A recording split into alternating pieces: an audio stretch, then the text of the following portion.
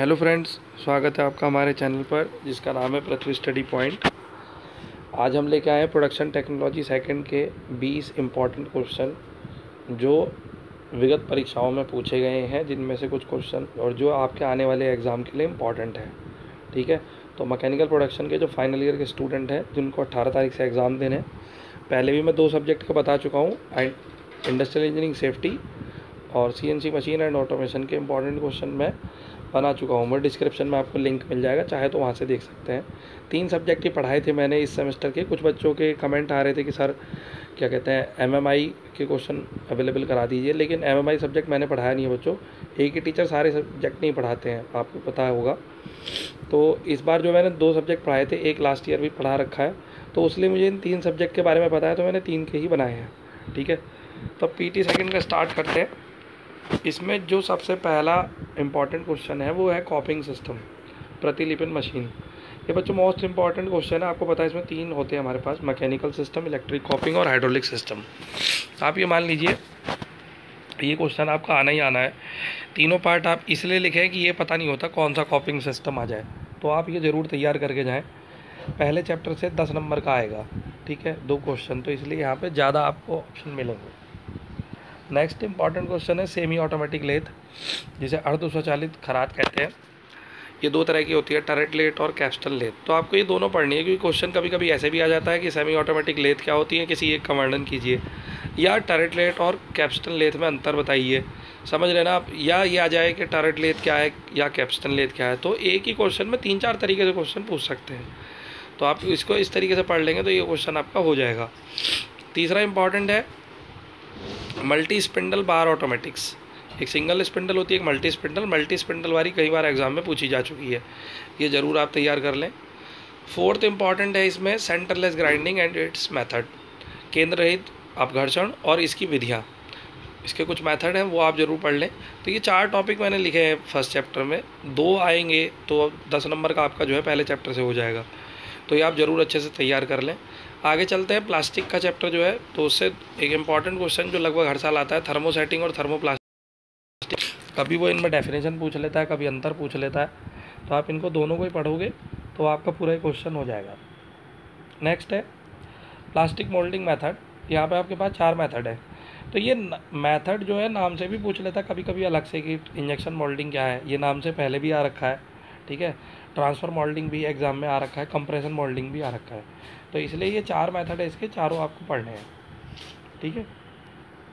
Next chapter का important question है chip formation and their classification chip किस तरीके से बनती हैं और उनका कितने तरीके का टाइप्स होते हैं, उनके वर्गीकरण करना है। ये भी क्वेश्चन कई बार एग्ज़ाम में आया है।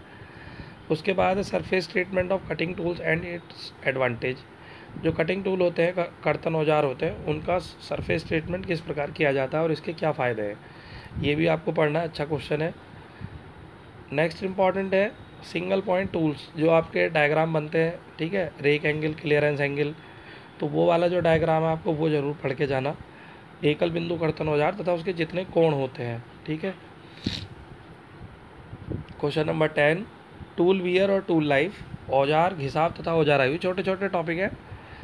और टेलर की ऊर्जा, औज़ार आयु की समीकरण टेलर टूल लाइफ इक्वेशन ये शॉर्ट नोट लिखने को आ सकता है कि टिप्पणी लिखने पे। तो आप ये पढ़ के जाएँ कि टूल वियर क्या होता है टूल घिसते कैसे हैं, किन कारणों से घिसते हैं, ठीक है?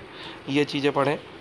उसके बाद अगला है progression and compound die press tool वाला जो चैप्टर है तो डाई इसमें डायग्राम है बच्चों मेन डायग्राम की प्रैक्टिस कर लेना डायग्राम बना के। थ्योरी तो आप लिख ही देते हो, लेकिन डायग्राम मेन है इसमें। तो ये आप ज़रूर तैयार कर लेना। उसके बाद है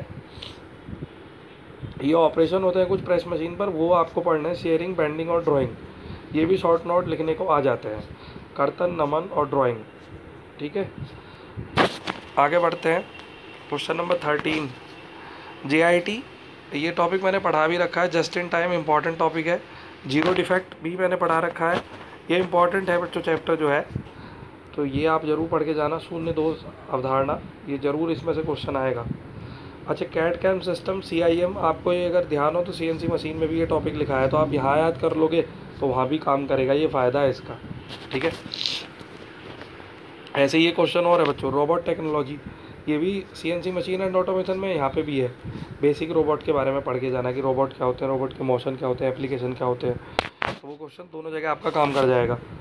उसके बाद है seventeen introduction to rapid prototyping ये क्या होती है? C M M coordinate measuring machine ये सब शॉर्ट नोट लिखने को आएँगे पाँच नंबर में.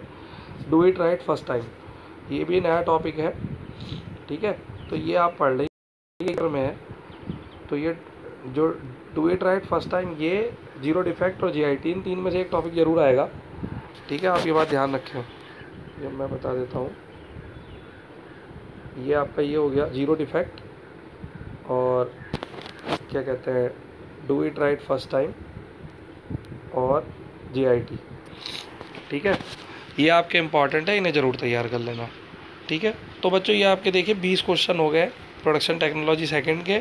उम्मीद करता हूँ ये आपको एग्ज़ाम में आप ज़रूर तैयार करें। तैयारी आपकी हो गई होगी। एग्ज़ाम के लिए गुड लक और वीडियो अगर पसंद आई हो तो अपने दोस्तों के साथ शेयर करें ताकि वो भी क्वेश्चन याद कर लें। और चैनल को सब्सक्राइब कर लें, अगर चैनल को सब्सक्राइब नहीं किया है तो। Thank you